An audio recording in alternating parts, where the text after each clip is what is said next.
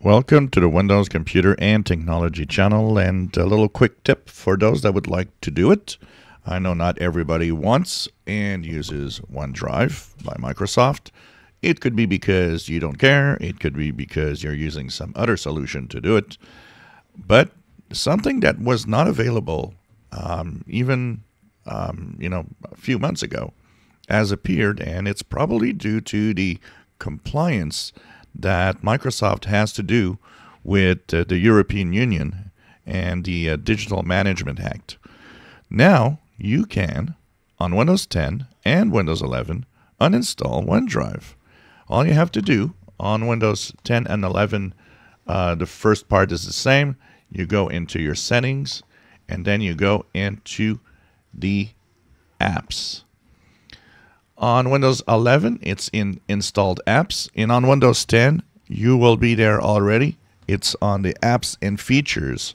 And you'll see the list of apps. You simply go down the list and search for Microsoft OneDrive. And once you found Microsoft OneDrive, go here. Microsoft OneDrive, here it is.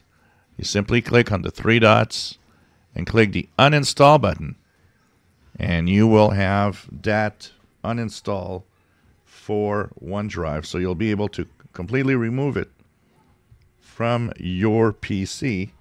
And that is something that a lot of people wanted to do, but uh, it was not possible before.